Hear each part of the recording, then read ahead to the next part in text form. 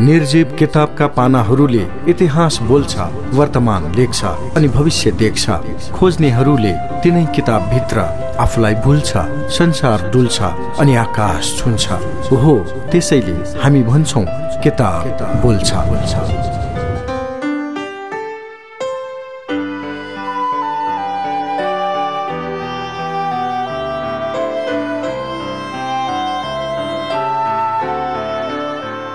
नमस्कार स्वागत छ कार्यक्रममा। कार्यक्रम किताब बोल्छ। कार्यक्रम किताब बोल्छ।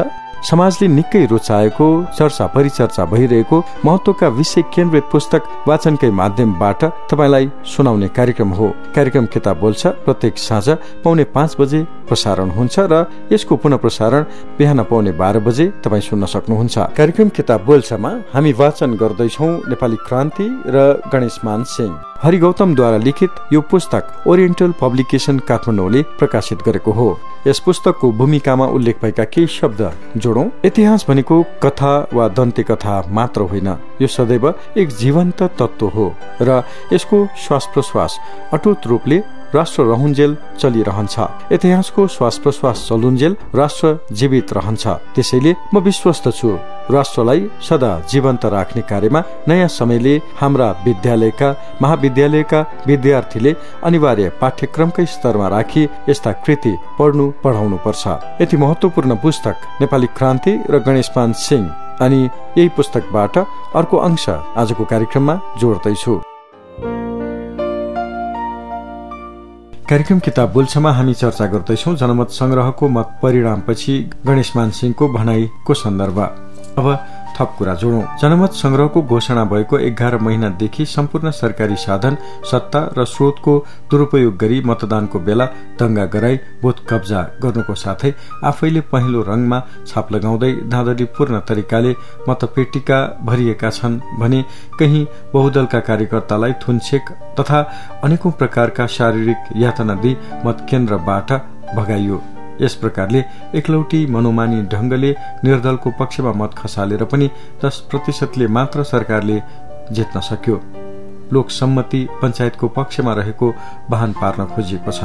परन्तु साँच्ची नै निष्पक्ष स्वतन्त्र र धाँधली रहित जनमत संग्रह भएको भए निर्णय कसको पक्षमा जाने थियो? सजिलैसित सोच्न सकिन्छ। यसको परिणाम विक्रम सम्बत दुई हजार पन्ध्र सालको जस्तै हुने थियो। जनमत संग्रह निष्पक्ष भएको मान्न सकिँदैन। उनले सुरुमै भनेका थिए यो जनमत संग्रह सशर्त हुनुपर्छ। पञ्चायती सरकारले गराएको यो जनमत संग्रहमा धाँधली हुन सक्छ। त्यसैले स्वतन्त्र र निष्पक्ष सरकारको गठन गरी त्यसले गराएको जनमत संग्रह मात्र मान्य हुन्छ पनि आफ्ना भनाई पहिले नै राखेका थिए। सम्पूर्ण राजबन्दीको बिना शर्त रिहाई हुनुपर्ने प्रवासमा बसेकालाई आम माफी दिनुपर्ने पञ्चायतका सबै निकाय अविलम्ब निलम्बन हुनुपर्ने अन्तरिम सरकारको गठन हुनुपर्ने वाक तथा प्रकाशन स्वतन्त्रतामाथि बन्देज लगाउने कानून निलम्बन तथा खारेज गर्नुपर्ने निष्पक्ष चुनाव आयोग गठन हुनुपर्ने अञ्चलाधीश पदको खारेजी हुनुपर्ने। यदि यी शर्त अनुसार जनमत संग्रह भएको भए बहुदल पक्षको विजय हुने थियो। यसले के देखाउँछ भने गणेशमान सिंहमा कति दूरदृष्टि रहेछ भन्ने कुरा बिपी कोइराला लगायत सबैले प्रशंसा गरे। राजाबाट विक्रम सम्बत दुई हजार सडतिस साल जेठ आठ गते संविधान सुधार सुझाव आयोगको गठन भयो।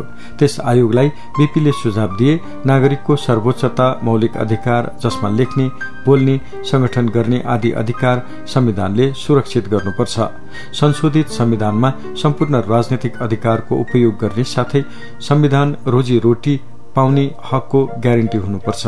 गणेशमानले आयोगका अध्यक्षले काम शुरू गर्न अगावै निर्दल पक्षमा जोड़ दिएकाले जनादेश बमोजिम सुझाव पेश गर्न सक्लान् जस्तो लाग्दैन।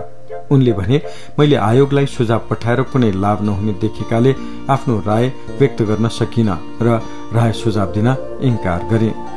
संशोधित संविधान विक्रम सम्बत दुई हजार सडतिस साल पुष एक गते जारी भयो। त्यस संविधानलाई बीपी कोइरालाले निराशाजनक भने गणेशमानको भनाइ थियो। तेस्रो संशोधनले देशको स्वतन्त्रतामा अन्तिम पटक प्रहार गरेको छ। देश षड्यन्त्रकारीको जालोमा बेरिएको छ। यो जनतामाथिको विश्वासघात हो र यो व्यवस्था राणाशाही भन्दा पनि निकममा भएको छ। त्यसपछि नेपाली कंग्रेसले देशव्यापी क्षेत्रीय भेटघाट कार्यक्रम शुरू गर्यो। बिपी र गणेशमानले कार्यकर्ताको राय सुन्ने र कार्यकर्तालाई निर्देशन दिँदै अघि जाने योजना बनाए। कार्यकर्ता सामु गणेशमानका भनाइ थिए विक्रम सम्बत दुई हजार सात साल फागुन सात गतेका दिन यहाँ प्रजातन्त्रको जग बस्यो। त्यही दिनदेखि प्रजातन्त्रलाई उखेल्ने षड्यन्त्रको बीज पनि रोपिएको थियो। यदि यस्तै अवस्थामा जनमतको व्यवस्था हुने हो भने देशले कुनै निकास पाउन सक्दैन। यसमा गणेशमानका भनाइ छन् मैले एघार महिना अघिदेखि नै जनमत संग्रह निष्पक्ष हुँदैन र धाँधली हुन्छ भन्ने कुरा भन्दै आएको थिएँ। तर यस्तो निर्लज साथ धाँधली गर्छन् होला भन्ने मलाई लागेको थिएन। यो परिणाम लोकसम्मति होइन। विक्रम सम्बत दुई हजार सत्र सालको दुर्भाग्यपूर्ण घटना झै अर्को दुर्भाग्यपूर्ण घटना हो। यस परिणामले केवल राज इच्छामा चलेको पञ्चायती व्यवस्था र अब लोकसम्मतिले चलेको भन्ने देखाउन खोजेको मात्र हो। यस किसिमको धाँधलीपूर्ण जनमत संग्रहलाई लोकसम्मति कहिले मान्दिन घोषित परिणामले देशको समस्या कुनै हालतमा समाधान हुन सक्दैन। अब यो पञ्चायती व्यवस्थामा कुनै फरक आउँदैन। यस व्यवस्थाले हामीलाई कहाँ लैजानेछ कल्पना गर्न सकिँदैन। यसरी जनमत संग्रहमा पराजित भएको घटना नेपालमा मात्र होइन अन्य एसियाली मुलुकमा पनि सरकारी पक्षले गराएको जनमत संग्रहमा विपक्षको विजय कहिले भएको छैन। उन्नाइस सय उनासाठी इस्वीमा पाकिस्तानका राष्ट्रपति फिल्ड मार्शल अयुब खाँले उन्नाइस सय पचहत्तर इस्वीमा बंगबन्धु शेख मुजिबुर रहमानले यसरी नै उन्नाइस सय सतहत्तर इस्वीमा श्रीलंकाका राष्ट्रपति जयवर्धनले र उन्नाइस सय उनासीमा फिलिपिन्सका राष्ट्रपति मार्कोसले गराएको जनमत संग्रहमा सरकारी पक्षकै विजय भएको थियो। त्यसै गरी नेपालमा उन्नाइस सय अस्सी इस्वी सम्बत अर्थात् दुई हजार सडतिस सालमा गराइएको जनमत संग्रहमा पनि सरकार पक्षकै विजय भयो। यी कुराले के प्रश्न हुन्छ भने सरकारी पक्ष आफ्नो तागत लगाएर भए पनि जनमतको उपेक्षा गर्न सक्ने रहेछ। जनमत संग्रहको परिणाम विधिवत प्रकाशमा आएपछि राजाले अब सुधार सहितको नयाँ संविधान जारी गर्ने घोषणा गरे।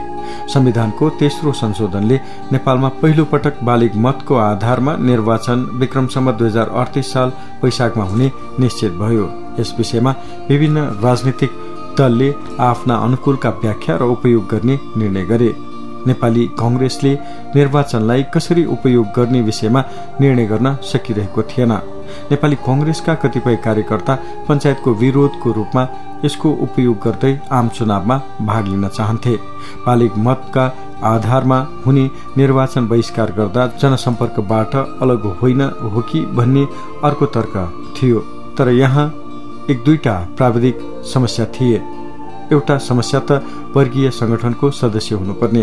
अर्को पञ्चायती संविधानलाई मान्नेछु भन्नुपर्ने बाध्यात्मक अवस्थाले गर्दा नेपाली कंग्रेसले जनमत संग्रह पछिको चुनावमा भाग लिन सकिरहेको थिएन। त्यस्तो भए पनि पिपी कोइराला गणेशमान सिंह र कृष्ण प्रसाद भट्टराई देशका भ्रमणमा निस्किए।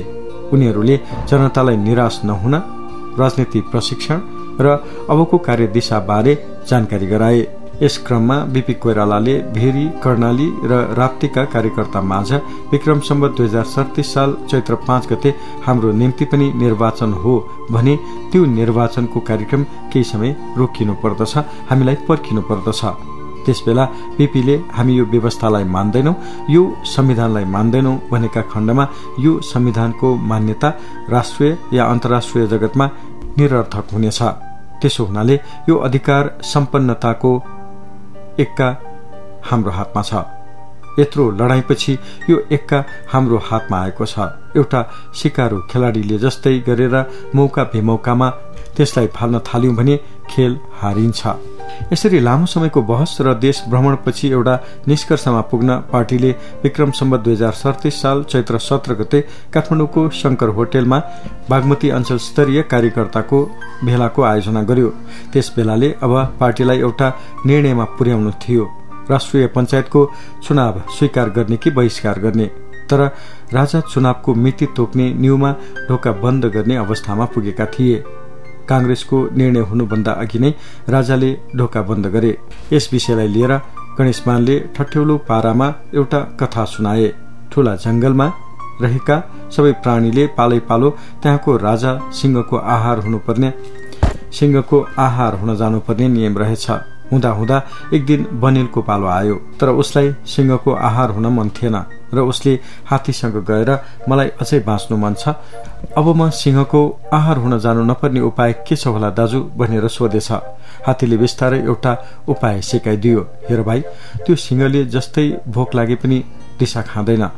तिमी उसका अगाडि जाँदा पुरै दिशामा लटपटिएर जाऊ। सिंहले खाँदै खाँदैन अनि बाँचिहाल्छौ नि। बनिलले पनि त्यसै गर्यो। आज हामी सिंह जस्ता पार्टीलाई राजाले दिशामा लटपटिएको पनिल रूपी चुनाव पठाएका छन्। अब हामीले त्यो कसरी खान सक्छौ? त्यो खान सक्दैनौ। हाम्रो निष्कर्ष यही हो। त्यसैले हामी पञ्चायती सरकारले गरेको पहिलो आम निर्वाचन विक्रम सम्बत दुई हजार अडतिस बहिष्कार गर्ने निर्णयमा पुग्यौं। कार्यक्रम किताब बोल्छ तपाईँ सुन्दै हुनुहुन्छ। कार्यक्रममा हामी नेपाली क्रान्ति र गणेशमान सिंह पुस्तक वाचन गर्दैछौ। हरि गौतमद्वारा लिखित यो पुस्तक ओरिएन्टल पब्लिकेसन काठमाडौँले प्रकाशित गरेको हो। पुस्तकका शब्द लेखकको मात्र हामी वाचनको माध्यमबाट तपाईँसम्म पुर्याउँदैछौ। पुस्तकको अर्को अंश सुनाउन भोलि तपाईँसँग फेरि पनि भेट्नेछु। आजको लागि प्राविधिक सहकर्मी रेहन महर्जनलाई धन्यवाद दिँदै म सुरज वीर पनि छुट्टिन्छु। नमस्कार।